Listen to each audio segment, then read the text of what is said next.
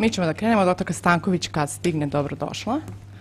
A, dobar dan i dobrodošli na konferenciju za novinare Dijabetoškog saveza Srbije koju zahvaljujem se na vašem naravno odzivu i e, pozdravljam takođe ljude koji nas prate i online. Pozvali smo vas na ovaj događaj da bismo vam predstavili rezultate kampanje Siguran glas koju je Dijabetološki savez Srbije radio intenzivno od 17. marta do 30. aprila ove godine. E, danas će vam se, pored moje malenkosti, obratiti uvaženi e, predstavnici Ministarstva zdravlja, a to je dr. Dragana Čučković, pomoćnik ministra za lekove i medicinska sredstva i dr. Nebojša Jokić ispred sektora za organizaciju, kao i već pomenuta dr. Stanković koja je e, pedijatar endokrinologa iz kliničkog centra Niš i koja stiže za svaki, svaki čas, što se kaže. Ja moram prvo da krenem sa statistikom koja nas, nažalost, i dalje prati jako je crna.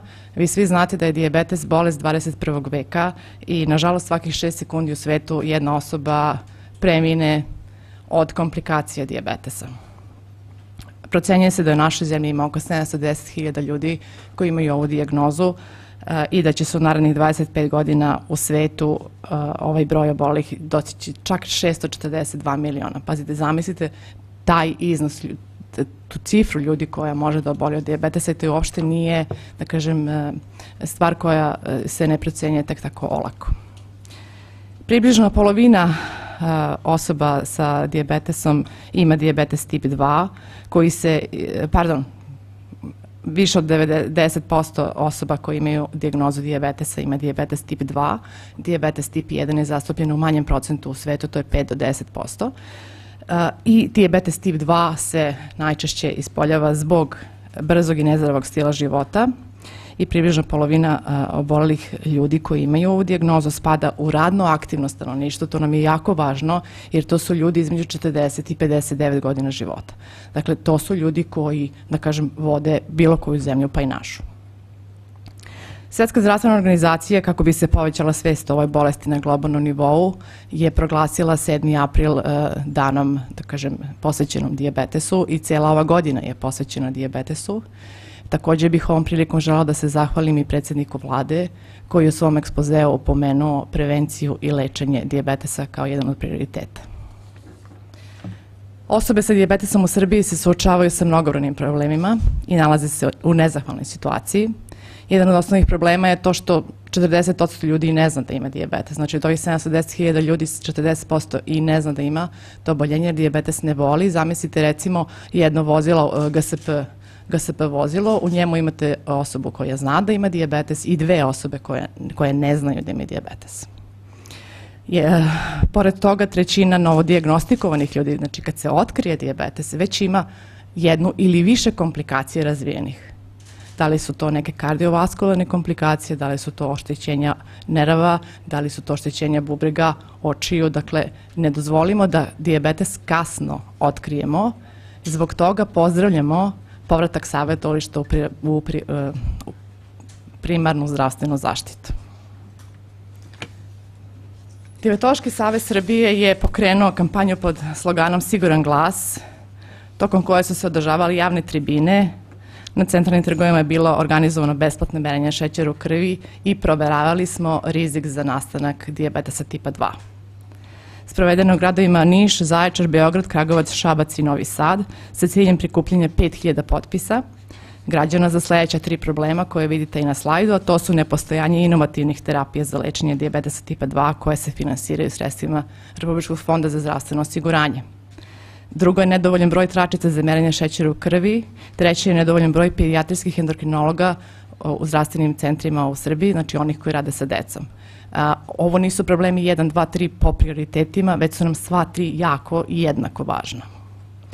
Prikupljanje potpisa građana, po, podrške građana je nastavljeno nakon 30. aprila. Do sada su osobe sa diabetesom dobile podršku od preko 3000 građana i neka udruženja poput Zrenjanina su se sama organizovala, dakle nismo išli u posetu u Zrenjanin, već su se oni sami organizovali, neki individualci su se sami organizovali u okruženjima u kojima rade, u kojima žive i tako dalje, da bi prikupljali potpise. I e, peticija nije mogla da se proširi na elektronsko, da kažem, potpisivanje zbog strogih e, zakonskih odredbi, a to je zakon o zaštiti podataka o ličnosti. Naša je, e, da kažem, obrada podataka prijavljena na centralnom registru i možete otići na sajt poverenika i pogledati, tamo smo sve prijavili, sve smo radili po zakonu. I još uvek naravno radimo po zakonu. Zato ne vidite ovde uh, nikakve liste, nikakve potpise, jer jednostavno po zakonu to nismo u stanju da vam pružimo. Ovoj inicijativi smo u toku jula meseca obavestili Ministarstvo zdravlja Republike Srbije, Republički fond za zdravstveno osiguranje Srbije, kao i nadležnu Republičku stručnu komisiju, sa zahtevom da se oformi jedan sastanak kako bismo razgovarali o rešenjima ovih problema. Ovim putem želim da se zahvalim Ministarstvu zdravlja koje je na našu molbu za sastanak odmah odgovorilo u roku od pet dana. Zakazali su nam sastanak krajem jula i o ovim problemima o kojima smo razgovarali tada smo dobili uverenja da će biti razmatrani, baš jaka uverenja. Nažalost i dalje nismo dobili poziv na sastanak od predstavnika fonda, ali se nadam da će se i to desiti u narednom periodu. U zemljama EU se koristi savremeni vid terapije, znači kada pričamo o terapiji tipa 2 koja nam je jedan od gorućih problema, u Srbiji se e, ona ne primenjuje.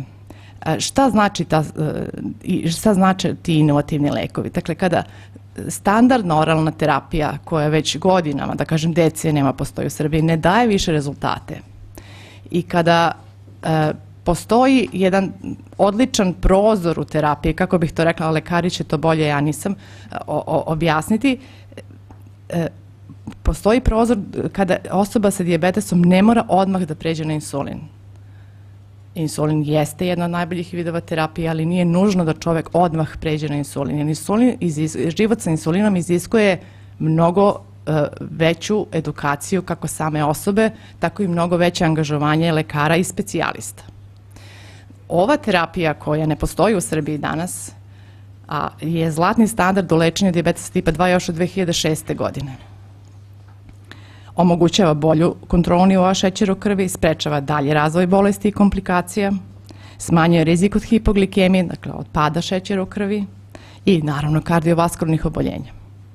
Nažalost, Srbija je poslednja zemlja u regionu gde ovaj vid terapije nije omogućen o trošku zdravstvenog osiguranja, dok su to uvele Hrvatska, Bugarska, Rumunija, Republika Srpska, Bosna i Hercegovina, Crna Gora, Albanija, znači među kojima su zemlje koje su evidentno siromašnije od naše.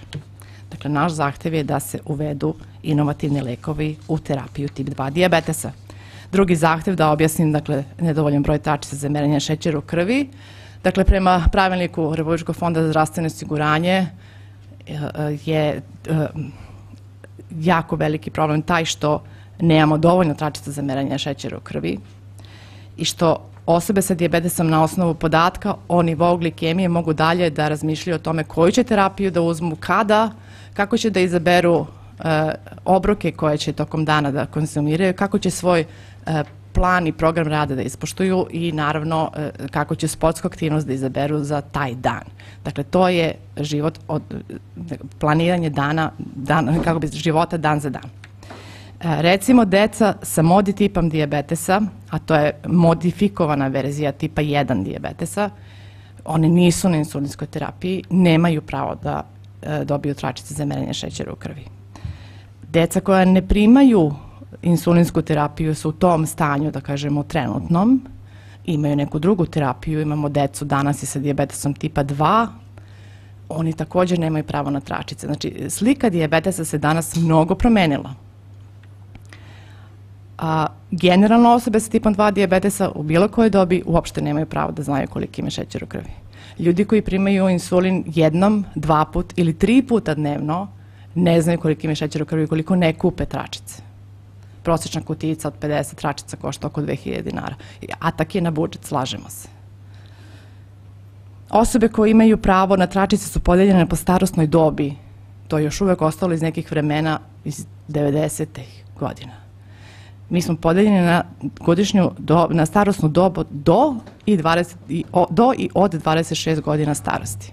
Ako imate do 26 godina starosti, imate jedan određeni broj tračica koji je relativno, da kažem, dovoljan, mada bi moglo stvarno da se tu proširi.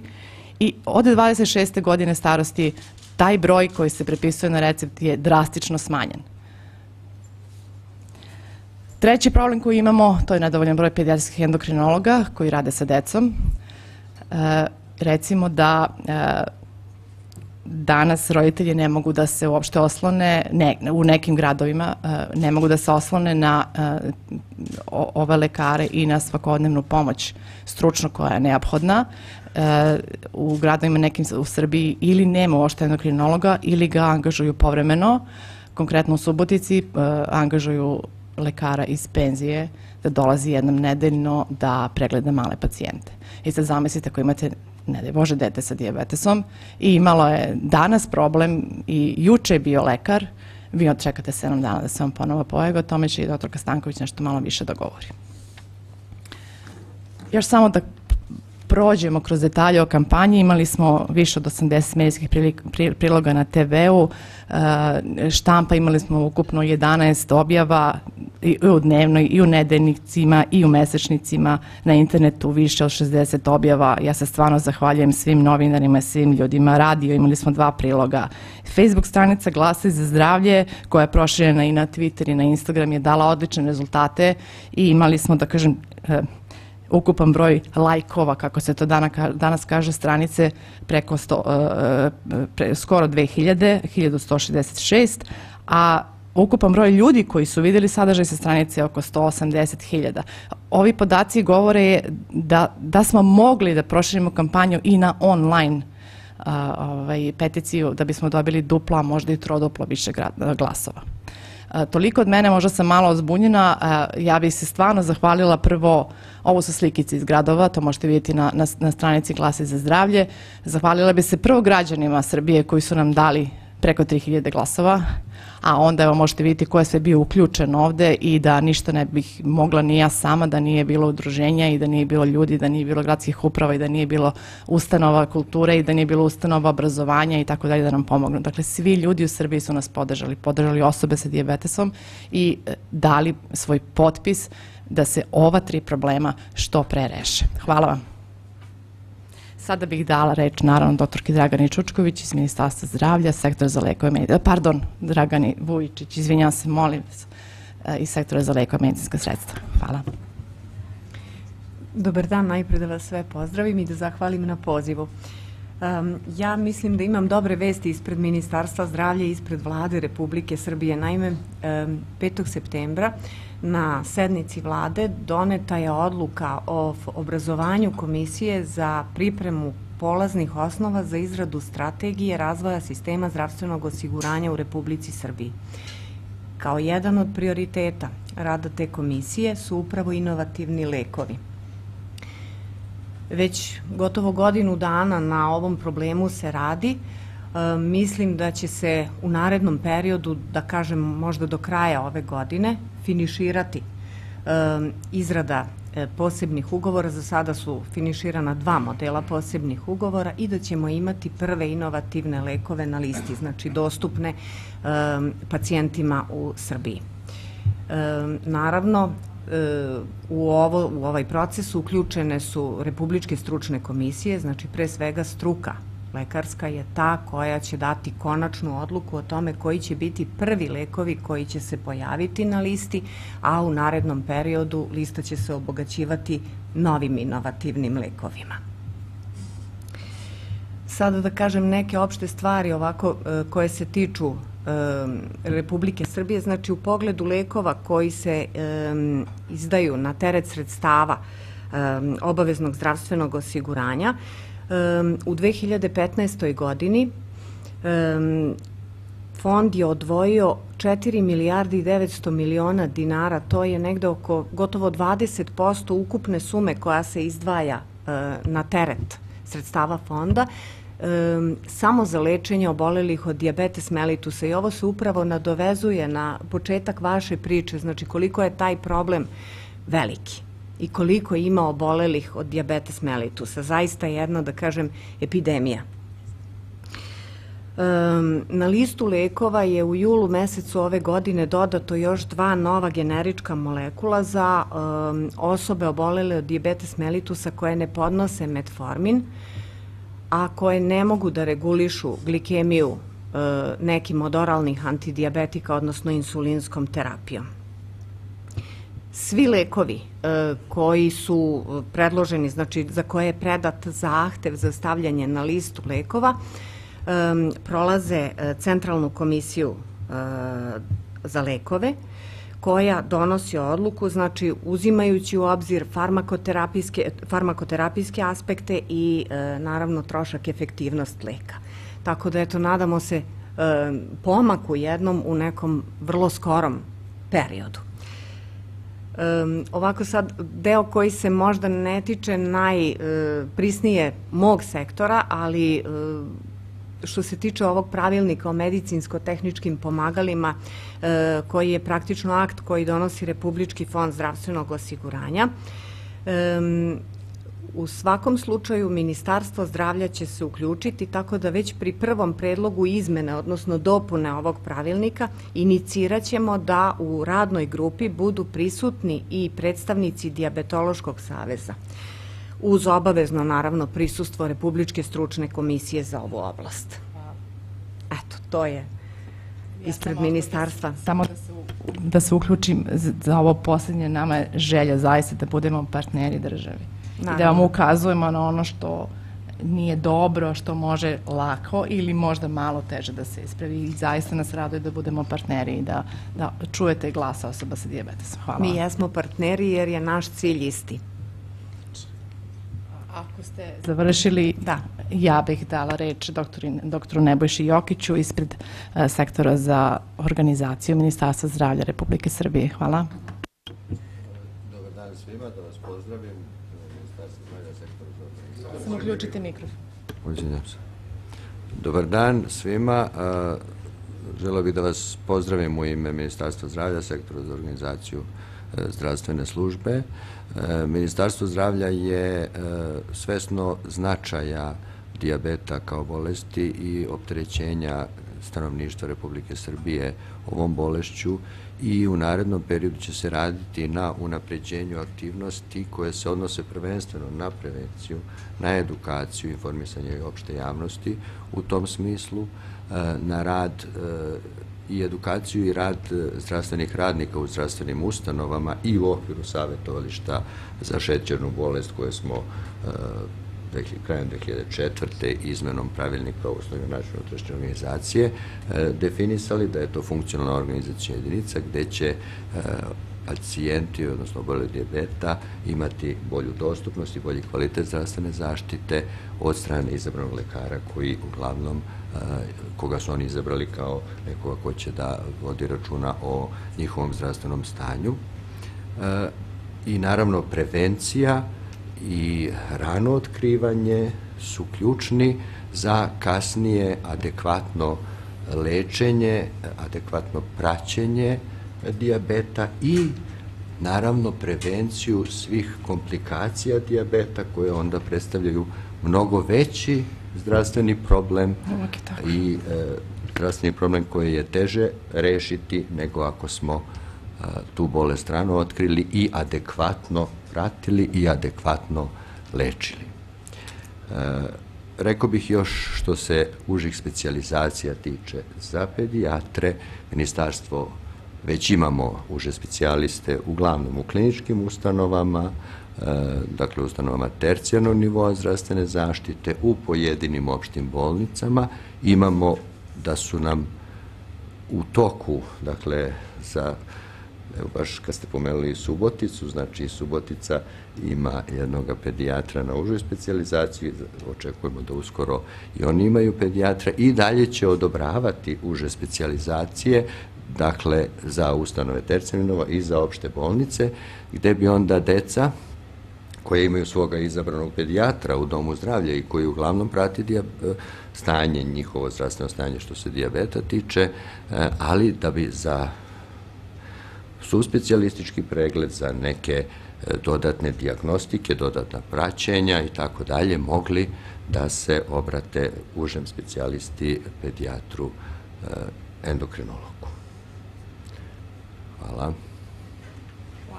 Doktore Jokiću, ja bih dala uh, sada reč doktorki Sandri Stanković, endokrinologu pedijatru iz kliničko-bolničkog centra Niš, klinike za uh, dečije interne bolesti. Hvala. Dobar dan, ja bih se svima vama zahvalila što ste došli zahvalila bih se Diabetološkom savezu Srbije što me pozvao na ovu konferenciju. Kao što je Stela malo pre rekla da želi da bude e, ortak sa Ministarstvom zdravlja, tako i ja mogu da se pohvalim sa izuzetnom saradnjom sa udruženjem EBERS u Nišu, što je nama kao pedijatrima, kliničkim lekarima veoma važno, jer u trenutku kada se postavi dijagnoza diabetes mellitusa, to je ogromna promena u celom životu porodice, celom životu deteta i mi kao lekari ne možemo da budemo samo lekari u ordinaciji, već moramo da budemo i njihovi prijatelji i da imamo mnogo ličniji odnos nego u drugim specijalizacijama.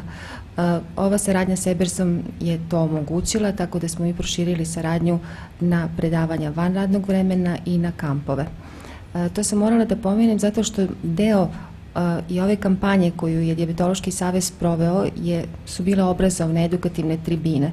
Podizanje nivoa svesti u Srbiji kod ljudi je veoma važno, zato što deca koja žive sa diabetesom svakodnevno nailaze na neke vidove otpora, odbijanja, kako u emotivnim, tako i u socijalnim kontaktima, tako da bilo koje aktivnosti koje pričaju o diabetesu i podižu taj problem na jedan državni nivo je veoma važan. Što više pričati o tom problemu koji je zaista u porastu. 2001. godine incidencija oboljevanja je bila sedmora dece na 100.000, to je populacija na godišnjem nivou. 2015. 16,5, dakle više nego duplo. Ovo je takođe rastući i sve veći problem u pedijatrijskoj endokrinologiji. E, što se tiče ovih zahteva koji je Diabetološki savez podneo Ministarstvu zdravlja, ja se slažem sa svakim od njih. Mislim da je veoma važno da mlad čovek koji je na početku i koji ima planove, ako ima diabetes i mora da ima više od četiri insulinske doze dnevno, mora da ima više od 50 rakica, mora da ima minimum 150 rakica, jer insulin je vrlo ozbiljan lek koji može da izazove smrtonosne komplikacije. Tako da davati insulin na slepo je zaista viciju martis i mi kao lekari ne bi smeli to da prepisujemo. 25 godina, to je samo 6 godina više nego 19-18. Znači, to je zaista jedan mlad čovjek na početku života. E, što se tiče pedijatrijskih endokrinologa, e, naš posao jeste zahtevan, zato što deca nemaju one hronične komplikacije kao odrasli, ali diabetes kod dece je vrlo e, nestabilan, ima vrlo često akutnih komplikacija, naročito kad dete ima prehladu, kad ima grip, kad ima neku crevnu infekciju, ono je u toliko lošem stanju da njega iz Vranja moraju da dovezu u Niš zato što niko na jugu Srbije nije dovoljno edukovan da reši tu akutnu komplikaciju. Tako da bi trebalo nekako drugačije edukovati ljude u manjim mestima. Što se tiče ino, inovativnih lekova, takođe držim potpuno stranu zato što tip 2 diabetesa je potpuno drugačiji. Mi u pedijatrijskom uzrastu ga gotovo i ne srećemo, ali jeste epi, epidemijski problem svetskih razmera. I ako posle te neke prve terapije odmah krenemo na insulin koji možda i nije za tog pacijenta, može da mu poveća gojaznost, može da ubrza aterosklerozu. Preskočili smo čitav niz opcija koje bi možda produžile život ili poboljšale kvalitet života mladom čoveku, jer danas sve mlađi ljudi oboljevaju od tipa 2 diabetesa. To je ono što bih ja imala da kažem. Hvala. Hvala, doktor Gastanković. Ovo bi bio, da kažem, oficijalni deo onog što smo imali da vam saoštimo danas. Izvolite sa pitanjima, stojimo vam na raspolaganju. Ako treba nešto da se objasni, još doda, odgovori na pitanje, tu smo. Hvala vam. Izvolite. Dobar dan, ja sam Marina Stojadinović, Radio Beograd, prvi program. Pitanje za doktorku Vujičić. Najavili ste do kraja godine nove inovativne lekove i novu strategiju. E, da li će to zaista u praksi biti i primenjeno ili da ne ostane samo strategija koja je negde na papiru zapisana, a da pacijenti i dalje imaju probleme. Ima li nade da ti ljudi zaista dobiju lekove i da više ne tragaju od apoteke do apoteke? Zahvaljujem. Upravo iz razloga da bi to zaživelo angažovala se i vlada Republike Srbije, ministarstvo, naravno formirana je ta radna grupa i očekujemo da će prvi pomaci da budu već u narednim danima, a do kraja godine da ćemo imati i prve inovativne lekove na listi, odnosno dostupne pacijentima. Držimo vas za reč. Naravno. To sam htjela ja da kažem. Hvala vam. Ja imam nešto da vas pitam, doktorka Vojičić. Mi smo do sada imali jako dobru saradnju u posljednjem periodu, zaista jako dobro. I uvek sa Ministarstvom zdravlja, čak i sa ministrom lično. E, prethodnih godina smo imali uverenja od Ministarstva zdravlja da će biti ovo, da će biti ono. 14. novembra kada je Svetski dan dijabetesa, uvek su nam obećavali svašta. Pa tračice će da podignu, pa ne znam, u- uvršće ove lekove ili šta već, napravit će organizaciju, vratit će savjeta. Što, ok, super, mi smo se osam godina borili za povratak savjetovališta, odlično što su vraćena. Ovom prilikom molim i osobe sa dijabetesom da idu u ta savjetovališta. Molim vas, ne mogu sve lekari, ako država prepozna nešto što je jako dobro za vas, a vi to nećete da koristite, nije ni to dobro. Znači, svi imamo i prava i obaveze, kako država, tako i mi, osobe koje živimo s dijabetesom. Ja živim 40 godina, i u principu živim i dalje ok. Znači, sa dijabetesom može. Htjela sam da vas pitamo koliko je zaista, evo da se nadoveže na, na gospođe Marine pitanje, koliko je zaista nama za očekivati, jer nas sad gledaju ljudi, recimo pored računara, uglavnom osobe sa dijabetesom, i iz vaših usta crpe svaku informaciju. Jer mi zavisimo od ministarstva i od njihovih, odnosno izjava ljudi ispred ministarstva. Koliko zaista danas septembra 2016. možemo da verujemo u vaše reči. Hvala vam. Ja mislim da sa ovog mesta poručujem krajnje ozbiljno da će se prvi inovativni naći već krajem godine na listi. Sada, e, da još jednom podvučem da je Centralna komisija za lekove ta koja će odlučiti koji će to prvi inovativni ući, znači za koju kategoriju obolelih će biti prvi inovativni lekovi koji će se naći na listi. U svakom slučaju, Ministarstvo zdravlja intenziviralo svoj rad na ovom problemu. Hvala vam najviše. Može, Marina, izvolite. Ja se izvinjavam, ali i to je goruća stvar. Zašto nema dovoljno trakica? U čemu je problem? Hvala. Pravilnik koji definiše broj tračica je e, u domenu e, rada i odlučivanja Republičkog fonda zdravstvenog osiguranja. Meni je žao što ovde nemamo sada predstavnika Republičkog fonda da vam da bliži odgovor na ovo pitanje, ali u svakom slučaju u konsultaciji sa kolegama iz sektora za zdravstveno osiguranje pri Ministarstvu zdravlja dobila sam uveravanja da će se pri izradi ovog sledećeg pravilnika uključiti i predstavnici udruženja. Tako da se onda u toj zajedničkoj borbi postigne neki boljitak. E, tu sad već moram da se uključim. Zaista, e, ne, nemam ništa na adresu e, ministarstva, de, sektora ministarstva za, za lekove, ali imam za, za osiguranje. E, samo poruka da mi već godinama sa njima sarađujemo i da smo dali ne jedan, nego milion i jedan e, predlog da se taj deo kolača koji je za dijabetes, taj deo novca koji je za dijabetes, e, bolje iskoristi. Ja se iskreno nadam da će naši po, poslednji predlozi koji su bili vrlo racionalni, mi raspolažemo informacijama znate, radite kao kad radite svoj kućni budžet, pa ok, imamo toliko para, ovoliko nam fali, hajde da onda to malo bolje izracionalizujemo. Dali smo više nego sedam ili osam ozbiljno po nama dobrih predloga. Iskreno se nadam, evo, prenesite kolegama u osiguranju da će razmotriti, da će nas pozvati na sastanak, da zaista to ovaj, iz najbolje namere mi razumemo koliko država može ili ne može. Razumete, ali da, da, da, da neko non stop priča jednu istu priču i ne radi ništa već godinama, e to zaista najzbiljnije više ne možemo da, da, da, ovaj, da razumemo. Hvala vam. Ja bih se uključila, ako može, samo na kratko ovaj stručni deo, da velike studije, metaanalize koje su rađene su pokazale da redovno merenje šećera u krvi je veoma važno za glikoregulaciju, a da jedino glikoregulacija od samog početka bolesti, od same dijagnoze, može da prevenira komplikacije. Ukoliko se komplikacije već razviju, vrlo je teško stati na put i vrlo ih je teško zaustaviti. Mogu se usporiti, ali ne mogu se više vratiti unazad. Tako da prilikom donošenja odluka mislim da postojanje već postojućih komplikacija što se tiče trakica i što se tiče tih nekih benefita ne igra neku važnu ulogu. Hvala. Izvali. Dobar dan svima, ja sam Boba Milosavljević i dolazim iz Niša. Inače, osoba sam sa diabetesom 22 godine i živo sam u jednom malom mestu koje se zove Kuršumlija, gde je takođe informacija bila u to vreme vrlo kratka i nedostupna. Doktor Kasandra je u svakom slučaju ovo moje pitanje koje sam želao da postavim već i na neki način odgovorila, ali definitivno treba ga ponoviti još jednom.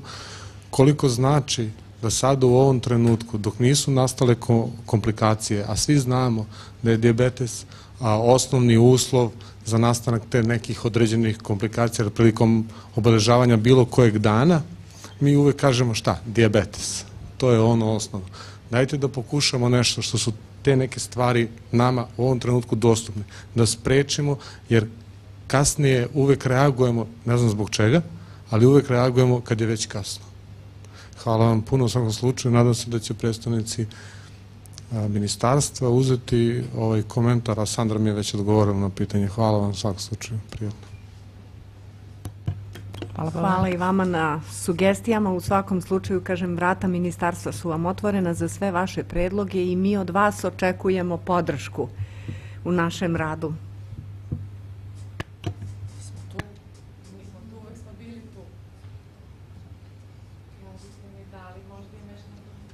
Da li možda ima još nekih pitanja, nejasnoća? Ukoliko ne, možemo da... Ovaj, izvolite, izvolite, doktor Jokić, izvolite. Doktor Pistanković, eto, e, znači, uže specializacije, e, pored užih specializacija, možemo da organizujemo u saradnje sa lekarskom komorom, odgovarajuću kontinuiranu medicinsku edukaciju, programe i tako dalje. Znači, treba i na tome da se dalje radi, da bismo onda za one izabrane pedijatre u domovima zdravlja, ne, ne mogu baš svi, ne mogu domovima zdravlja, uglavnom to radi izabrani pedijatar, da bi se e, njima obezbedila adekvatna kontinuirana edukacija baš u oblasti diabeta i e, unapređenju, dakle, kvaliteta njihovoga rada i zdravstvene zaštite koju će e, ti pedijatri da pružaju e, deci koju oni leče i prate i, i preveniraju sve komplikacije. Hvala. Ukoliko smo ovaj, pokrili sve teme koje su danas bile vama e, interesantne i ukoliko nemate više pitanja, ja bih zatvorila konferenciju za štampu i još jednom se zahvalila svim e, na, na prisustvu i na učešću u ovom događaju. Hvala najlepše. Prijetan dan.